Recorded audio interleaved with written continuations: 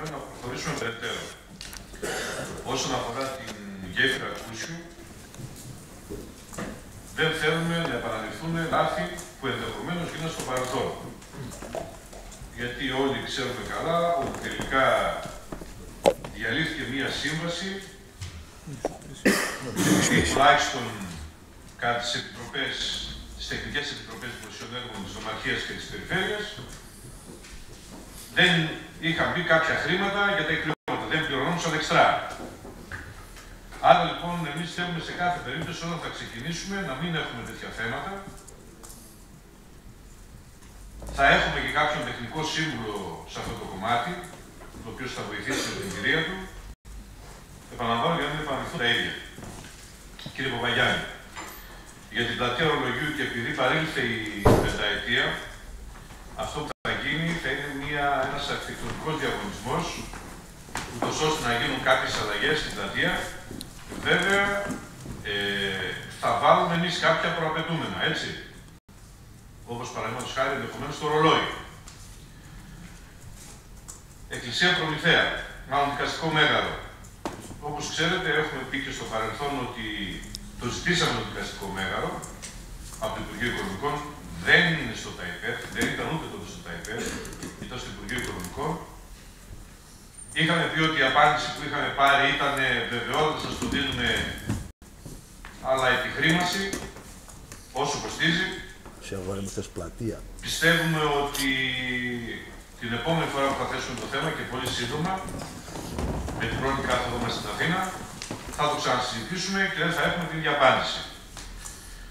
Όσον αφορά την εκκλησία στον Προμηθέα, αυτό που μπορώ να πω είναι ότι ο Δήμος είχε αγοράσει ένα οικόπεδο προ πολλών ετών, το αποπληρώνει ετησίως αυτό το οικόπεδο. Βεβαίως έχω την εντύπωση ότι δεν επαρκεί από μόνο αυτό το οικόπεδο για να χτιστεί μια εκκλησία. Μάλλον χρειάζεται η αγορά και κάποιο δεύτερο οικοπαίδου. Και βέβαια αυτό μάλλον θα πρέπει να γίνει από την Εκκλησία και όχι από το Δήμο. Όσον αφορά το θέμα του φυσικού αερίου, που μπήκε και από εσάς κύριε Βαγιάννη και από τον κύριο Μελιόπουλο, δεν πρέπει να γίνει κάποια παρεξήγηση. Είπαμε το εξής. Είπαμε θετικά, πολλά. Έτσι, πρώτον, ανάπτυξη. Δεύτερον, οικονομία. Θέσεις εργασίας. Καθαρό κάψιμο.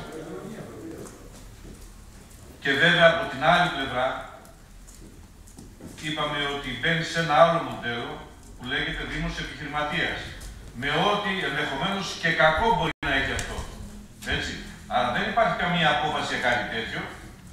Αντιθέτως είναι κάτι το οποίο προβληματίζει. Πραγματικά. Κυρία Ελευθεριάδη,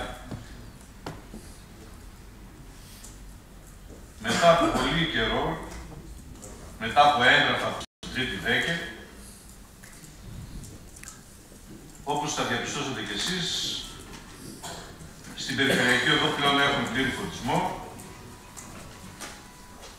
Το διάστημα που τα συνεργεία δουλεύαν εδώ πέρα έγινε επικοινωνία. Τέθηκε θέμα οικονομικό, κατά πόσο υπάρχουν στον λογαριασμό και όχι μόνο για το 66, αλλά και για τη διασταύρωση σε λίγο, όπου και εκεί έχουν προβλήματα. Σε αυτή τη φάση λοιπόν δεν έγινε κάτι. Περιμένουμε να γίνει σε μια επόμενη φάση είναι γνώση των προβλημάτων η τρίτη δέκη και για τα δύο μέρη. Και τέλος θα κλείσω με τον κύριο Κουσίκα λέγοντας το εξής. Τα πράγματα σε κάποια θέματα δεν είναι άσπρο ή μαύρο. Έτσι. Πράγματι εμείς παραδώσαμε πεζοδρόμιο. Και επίσης βέβαια πράγματι ο νόμος επιτρέπει κατά παρέτηση τη στάθμευση μέσω μαζικής μεταφοράς στο πεζοδρόμιο.